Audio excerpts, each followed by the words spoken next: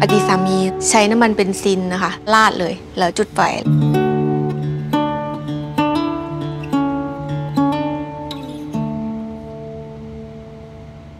เย็บสามเข็ม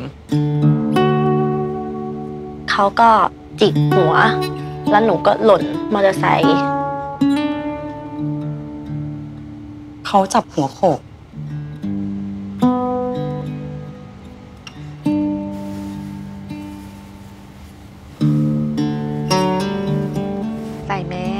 ผ้าพันคอ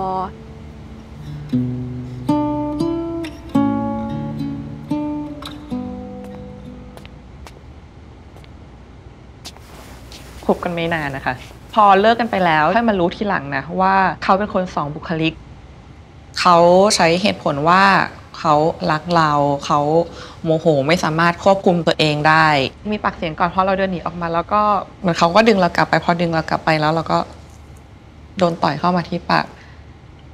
มันก็มีคนเดินผ่านมีมีคนที่เขาอยู่ในเหตุการณ์แถวนั้นแต่คือแบบ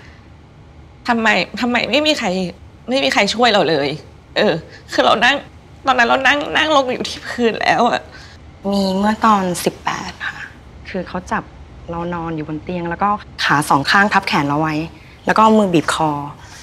ซึ่งพอเราดิ้นเขาก็ใส่ที่ตรงกลางคอ เรารับไม่ได้ ก็มาเจออีก เราก็เลยแกล้งยอมแกล้งลงไปกราบเท้าลงไป คบกันมาปีกว่าๆก็โดนประมาณห้าหกครั้งอะค่ะทะเลาะกันแล้วเขาบีบคอหนู เขาบอกว่าพ่อมึงไม่เอามึงหรอก พ่อมึงเขาไม่รักมึงหรอก ถ้าไม่มีกูอะก็ไม่มีใครเอามึงหรอก ก็จอดมอเตอร์ไซค์เขาควักน้ำมันออกมาเลย จากกระเป๋าเป้พูดคำเดียวว่ามึงจะเอายังไง พอราดน้ำมันปุ๊บจุดไฟ แล้วเขาผลักทวนออกไฟก็ลุกโหมเลยค่ะ กูต้องอยู่ จะตายไม่ได้ ลูกกูยังเล็กมึงห้ามตาย ลูกยังไม่ได้ขวบเพิ่งหย่านมเดือนได้เดือนเดียวมันเป็นแผลที่ว่าถ้าเกิดใครสะกิดไม่ได้เลย คิดเอาไว้ทุกอย่างพังหมดเลยค่ะแค่อารมณ์ชั่ววูบของเขาเอง ที่บ้านกับครอบครัวกับใครอื่นๆไม่ไม่ได้เล่าเลย กลัวว่าการที่บอกไปแล้วมันจะเหมือนเป็นการจุดชนวน ให้ให้เขาคิดจะทำกับเราเหมือนที่เราเคยโดนทำเพราะว่าเราเล่าไปคนก็ต้องบอกให้เราเลิก ซึ่งเราก็รักอะค่ะ ก็ยังไม่อยากเลิก คิดว่าน่าจะทนได้เพราะมันจะดีขึ้น แต่เราคิดผิดหนูไม่เคยเล่าอะไรให้พ่อฟังเลยค่ะ ไม่อยากให้เขามาเป็นห่วง ถ้าหนูตัดสินใจบอกไปตอนนั้นหนูอาจจะไม่ต้องเจอเรื่องอะไร เยอะแยะขนาดนี้ก็ได้ แล้วพ่อเขาก็ชอบบอกว่าหนูมีอะไรหนูไม่บอกเขา แล้วเขาจะแก้ปัญหาอะไรให้หนูได้ไง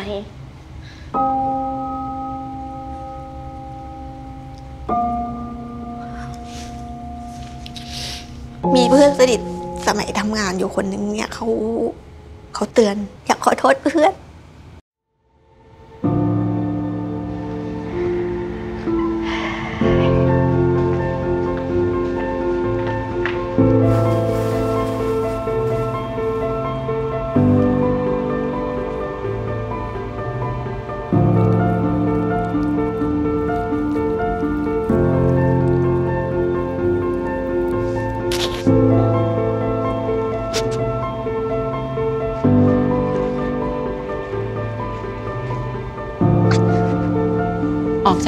จากนั้นก็ไม่ได้เจอกันอีกเลย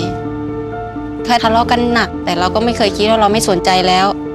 แต่พอมาเจอวันนี้แล้วเห็นมันเกินไปกับที่คนคนหนึงจะโดนแบบนี้ค่ะ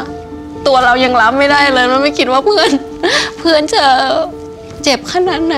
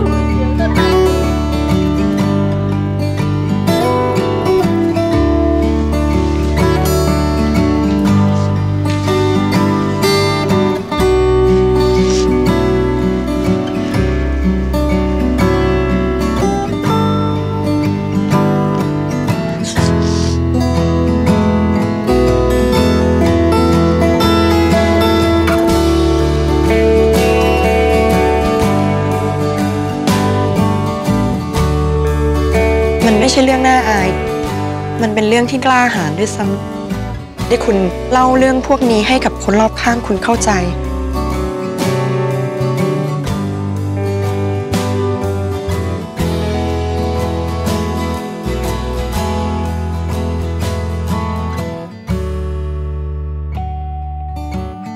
ทุกการซื้อมีส่วนช่วยสนับสนุนให้พวกเธอเริ่มต้นใหม่